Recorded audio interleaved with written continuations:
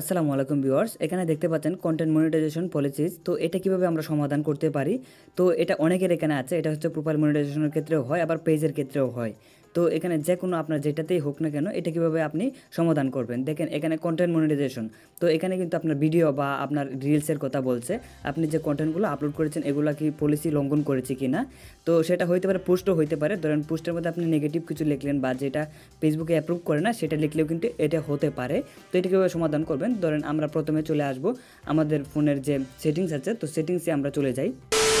এই জন্য আমরা ফোনের এখানে চলে আসলাম। আসার পরে এখানে দেখতে পাচ্ছেন যে হেল্প অ্যান্ড সাপোর্ট তো এখানে আমরা যদি একটা ক্লিক করি, তারপরে এখানে সাপোর্ট ইনবক্স দেখতে পাচ্ছেন, তো আমরা এখানে একটা ক্লিক করব প্রথমে। তারপরে দেখতে পাচ্ছেন, এখানে আমি কিন্তু দুইটা ভিডিও রিমুভ করেছি এবং এইগুলা কিন্তু রিকোয়েস্টটা চলে আসছে। আর আপনাদের এখানে এরকম নাও থাকতে পারে।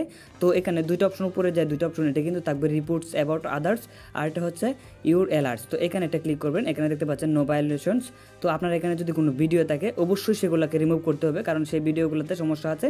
সেগুলোতে আপনি অন্যের কন্টেন্ট ব্যবহার করেছেন বা অন্যের সাউন্ড বা যে কোনো কিছু অন্যের সেটা হতে পারে বা কমিউনিটি গাইডলাইন লঙ্ঘন করেছে।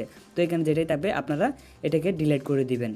তো তারপরে হচ্ছে, আপনারা এখান থেকে দেখতে পাবেন যে প্রফেশনাল ড্যাশবোর্ড তো প্রফেশনাল ড্যাশবোর্ডে আপনারা চলে আসবেন। প্রফেশনাল ড্যাশবোর্ডে চলে আসার পরে এখানে আমার সকল কিছু র্যাঙ্কিংয়ে দেখতে পাচ্ছেন। তারপরে মনিটাইজেশন দেখতে পাচ্ছেন এখানে। আমরা আরেকটা দেখব প্রোফাইল রিকমেন্ডেশন তো এখানে একটা ক্লিক করব, দেখতে পাচ্ছি প্রোফাইলটা কিন্তু রিকমেন্ডেশন আছে। তারপরে হচ্ছে এখান থেকে মনিটাইজেশন নিচের দিকে দেখেন একদম। তো মনিটাইজেশনে আমরা একটা ক্লিক করলাম, দেখতে পাচ্ছেন এখানে মনিটাইজেশন কিন্তু হবে। আপনাদের এখানে দেখতে পাচ্ছেন এরকম অপশনটা থাকতে পারে আনঅরিজিনাল কন্টেন্ট তো এটা কিন্তু এই যে দেখেন আমার যে প্রোফাইলটা এরকম হওয়ার কারণ হচ্ছে যে মনিটাইজেশন পলিসিস হচ্ছে এই যে আনঅরিজিনাল কন্টেন্ট মানে অন্যের কোনো সাউন্ড বা অন্য কিছু ব্যবহার করেছি এজন্য।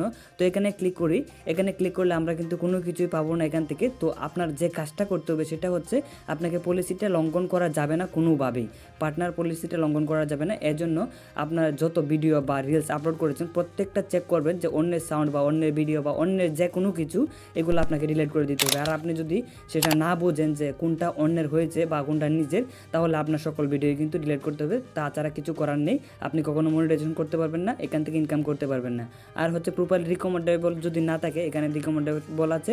তো আপনার এখানে যদি নট রিকমেন্ডেবল না থাকে তাকে, তাহলে কিন্তু আপনি কখনো মনিটাইজেশন করতে পারবেন না। কারণ এটাতে কোনো প্রভাব পড়বে না, কারণ আপনার ভিডিওটা অন্য কারও কাছে ফেসবুক সাজেস্ট করবে না এবং আপনার ভিডিও কখনো ভিউজ হবে না।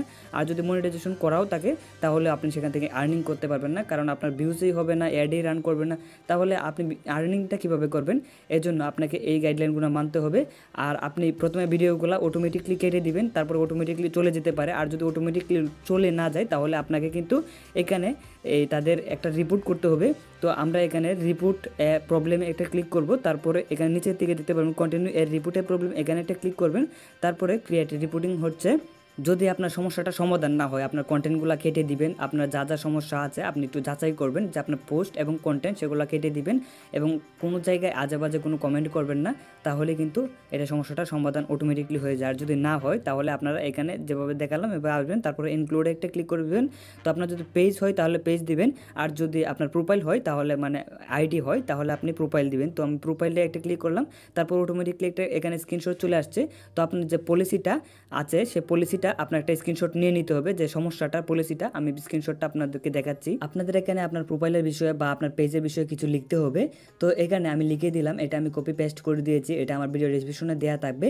তো আপনারা এটা কপি করে নেবেন বা এখান থেকে পড়ে নেবেন, আমার ভিডিও ডিসক্রিপশনে চেক করলে পেয়ে যাবেন। তারপরে আমাদের যে স্ক্রিনশটটা আছে, এটা অটোমেটিকলি কেটে দিব এখান থেকে, তারপরে আপলোড ফ্রম ফ্রম ফোন তো এখানে একটা ক্লিক করে আমাদের গ্যালারি থেকে আমাদের যে সমস্যাটার, এটা এটা ফটো দিয়ে দিলাম। দেখতে পাচ্ছেন ফটোটা যে কন্টেন্ট মনিটাইজেশন পলিসিস এটার একটা স্ক্রিনশট নিয়েছি। আর যারা এখানটা এটা খুঁজেই পাচ্ছেন না, তাদেরকে আমি দেখাচ্ছি কীভাবে। এটা স্ক্রিনশটটা নেবেন বা খুঁজে পাবেন।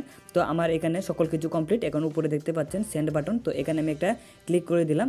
এটা সমস্যাটা সমাধানের জন্য তাদের কাছে একটা আবেদন করলাম। তো তারা চব্বিশ থেকে আটচল্লিশ ঘণ্টার ভিতরে তারা পর্যবেক্ষণ করবে। অবশ্যই পর্যবেক্ষণ করে যদি আপনার অ্যাকাউন্টটা সম্পূর্ণভাবে কোনো গাইডলাইন লঙ্ঘন না করে থাকে, বর্তমানে যদি সকল কিছু ঠিকঠাক হয়ে থাকে, তাহলে অবশ্যই তারা ঠিক করে দিবে।